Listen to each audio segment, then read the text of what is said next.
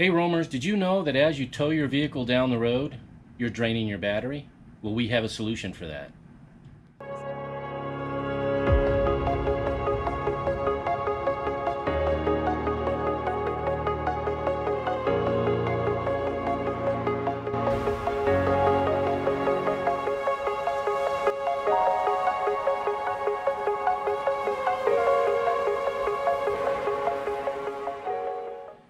Hey Roamer, Jamie back at you. What we're talking about today is we're talking about the towed battery charger from RVI. Um, we purchased this when we purchased our RVI brake system.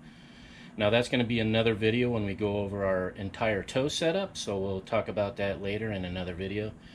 But what I'm going to talk about today is this. Basically what this does, it's a charger that charges your batteries as you're driving down the road. So when you're driving down the road, you have to put your vehicle in auxiliary on the in the ignition.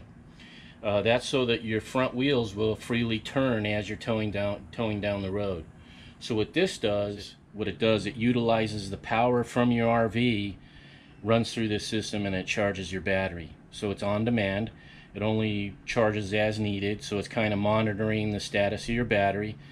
It's also backflow and polarity protected, so you don't have to worry about any of that stuff. What I'm going to do is I'm going to show you everything that comes inside of the box.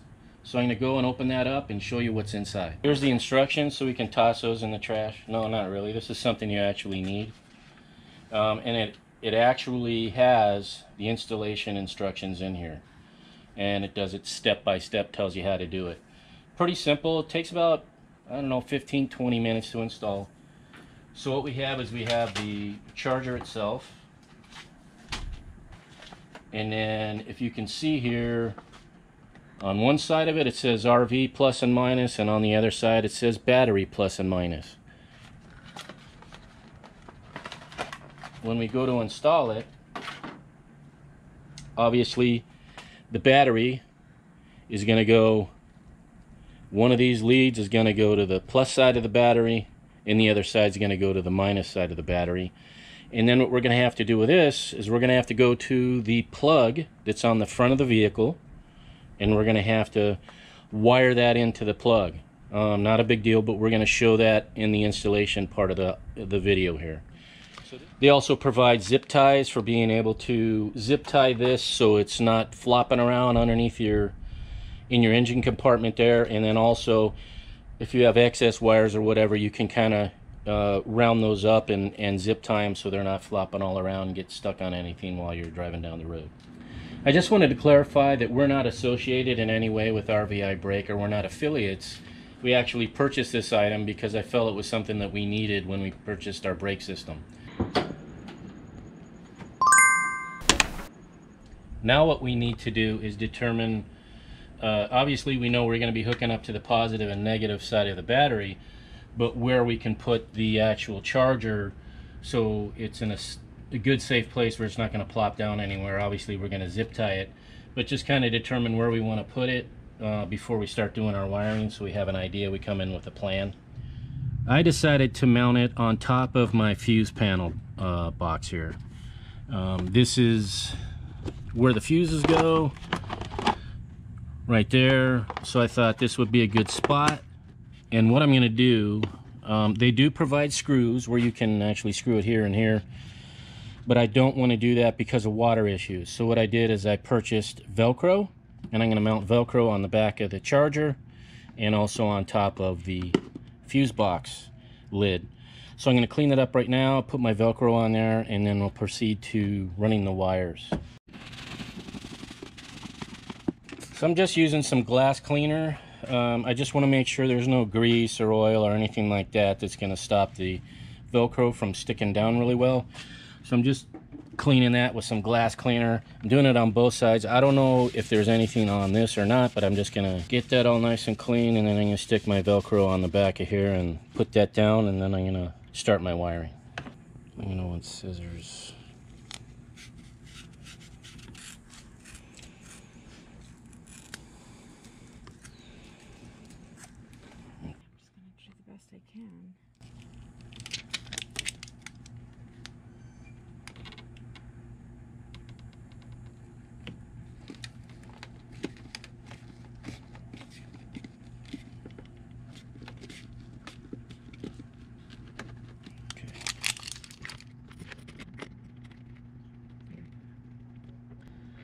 Now what I'm doing is I'm going to be hooking up the positive and negative side to the battery.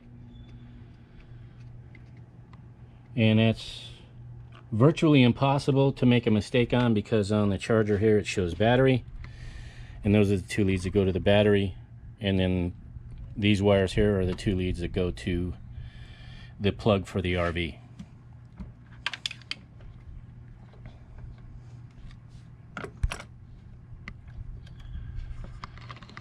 So just do the positive side here.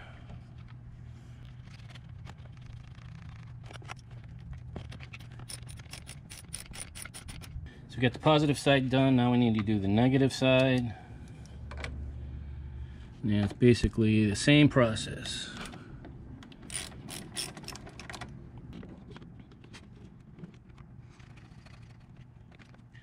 So as you can see, um, we got the blue light flashing on the battery, so that means on the battery side of the charger.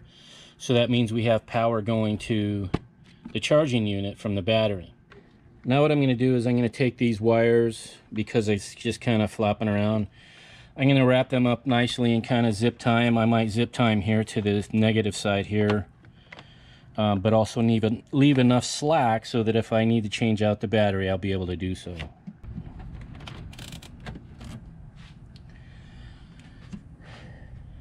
So now we're going to work on what's considered the RV side. Uh, I need to run this down in the front here to where my base plate is and then to the plug uh, where my RV, the line that goes from my RV to the car. I need to get to that plug so I need to put this down in the front but make sure that it's not going to be in the way of anything that's uh, any moving parts in the vehicle. So just going to figure a good place to run that down and then secure it and then wire it to the plug. After looking at my options of being able to run my wire that goes down to my plug here, I wanted to keep it away from any moving parts but also heat to protect the wires. So what I'm going to do is I'm going to take this piece off here, it comes off really easy, and then run my wires down towards the front of the grill here. So all you got to do is, you can take a screwdriver and then these things just kind of pop up. These little tabs here you want to pull that out and then this will pop out really easy. And you want to make sure and save these don't lose them because you need them to hold this piece back on. So I'm going to go through and take all these out and then this piece will come off and I'll be able to run my wires behind the, the grill here and that way it'll be protected from heat and uh, any moving parts in the engine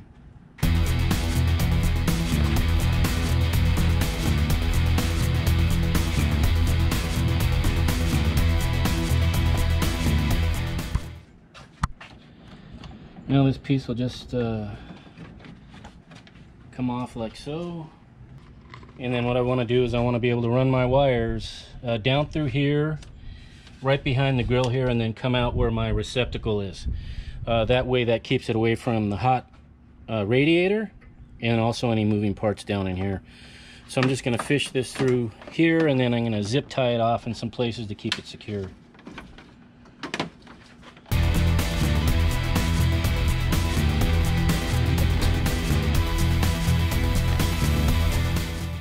So now that I ran my, my line uh, down behind the grill here, it's loose. So I'm going to take some zip ties and I'm gonna, in places I'm going to kind of just secure it so that it's not flopping around so it's nice and secure and I don't have to worry about it moving into anything that's hot or moving or whatever. So I'm just going to go through now, zip tie it in a few places. After I'm done with that, then I'll get to wiring it in the plug there.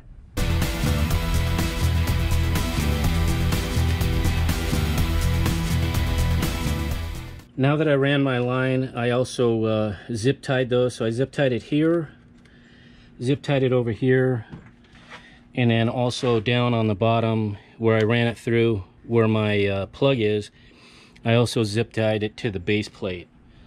So we're pretty good there. Now what I'm going to do is I'm going to put this piece back on because I don't need access to this anymore. So I'm going to get that put back on and then I'm going to get to wiring my plug up front here.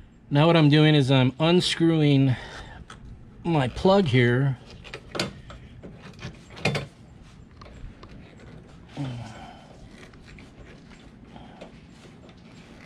From the base plate. Uh, so I have access to the wiring in this plug. Because that's where those two wires have to go. One goes to the ground and another one goes to a constant 12 volt source. So you have power running through it at all times to be able to keep the, the battery charged. So we have that loose. They taped this up when they did their connection, so I just need to take that off. I retape it once it's all once I'm all done with what I'm doing. You can sli just slide this back. The next step, what we're going to be doing is we're going to determine how much uh, uh, wire we need. Uh, so I just want to get rid of my excess, but I also want to leave myself enough so if I need to get in here and do any work or something happens in the future, I don't want it too short. So I'm going to leave myself a little bit of room. So I'm going to cut it off like right about there. So I'm going to go ahead and cut that. And then we're going to strip each end. We're going to pull this apart like so. We're just going to take our wire strippers and we're going to give ourselves a little bit to be able to go in strip that back and then do the same thing with the black wire.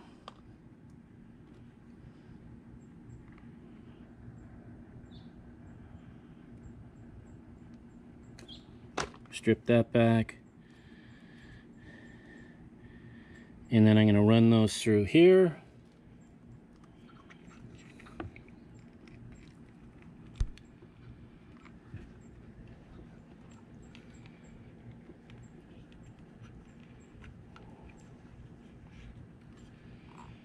Okay, so what I'm going to do is I'm going to first hook up my negative side. So I'm going to hook up my ground side first.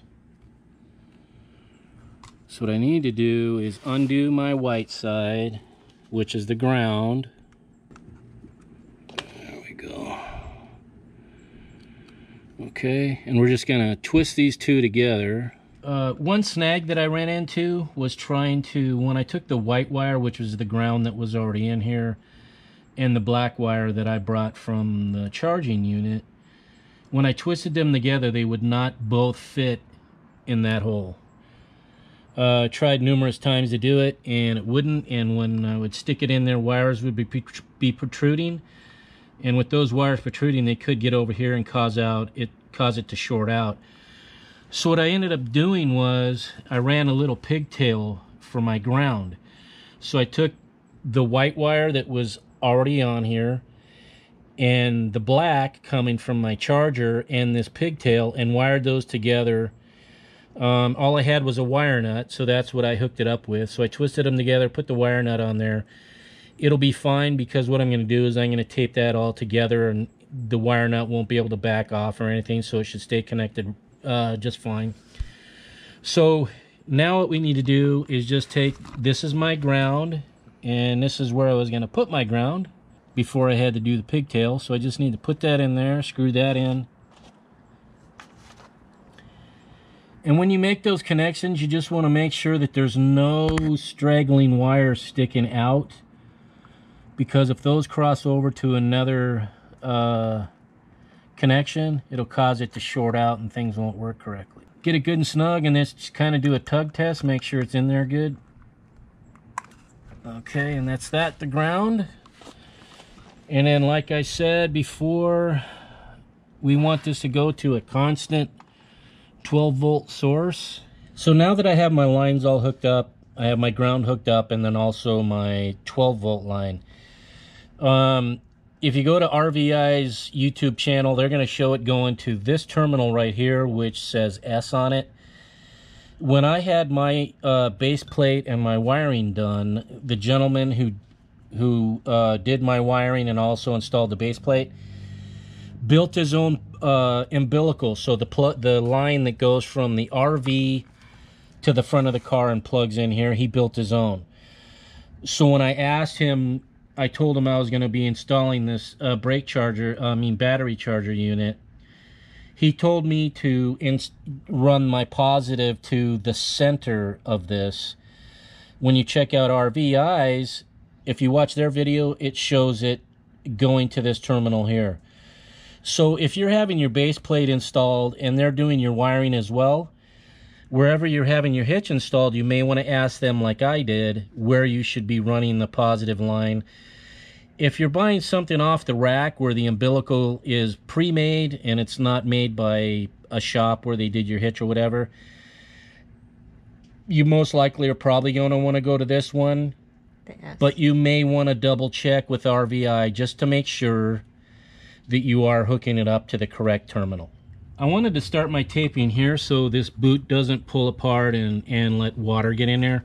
So I just wanted to make sure and get that taped up so there's no chance of that coming loose and letting water get in there.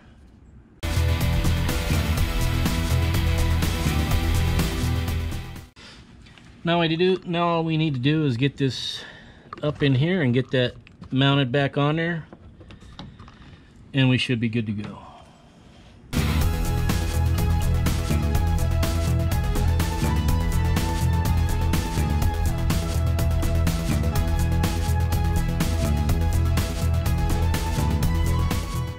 That's all hooked up. So we go ahead and get this cleaned up. And then I'm just gonna look up top, make sure everything's all buttoned up really nicely. And then to be able to check to make sure if the RV is wired correctly, the RV side of the battery charger, I'm going to have to plug this into the RV, um, turn the RV on, and then I'll be able to see the light come on on the battery charger. So now what I want to do is I just want to make sure that everything is uh, properly connected. To do so, I need to plug in the umbilical from the RV to the vehicle so that's our electrical line that runs from the RV to the vehicle, supplying the 12 volt power. And the motor has to be running to check this. So I'm sorry for the engine noise, but to be able to check it and make sure everything's good, it has to be on. So I'm gonna show you uh, what we got going. If everything is working correctly, we should have a green light flashing on the RV side and then a blue light on the uh, battery side. So let's go over and check that out.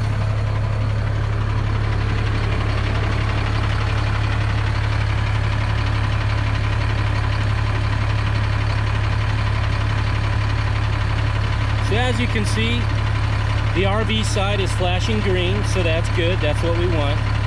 And then the blue light is flashing on the battery side, and that's good as well. So everything seems to be connected correctly. And I just wanted to show you when I keep referring to umbilical, this is what I'm talking about. I'm talking about this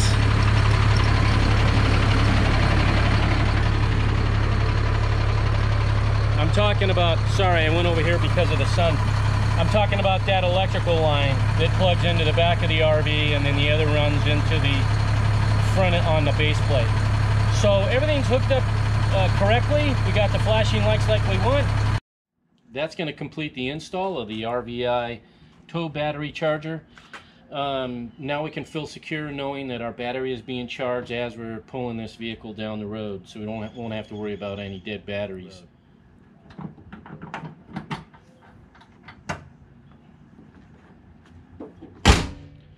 I hope this video was helpful. Um, if you have any questions, go ahead and put them down in the comment section below. Also, the, I'm going to put in the description below a link for RVI brake in this uh, unit here, so you can look that up on their website. And if you're not yet a subscriber, make sure and hit the subscribe button and ring that bell so you'll be notified each time we put out a new video.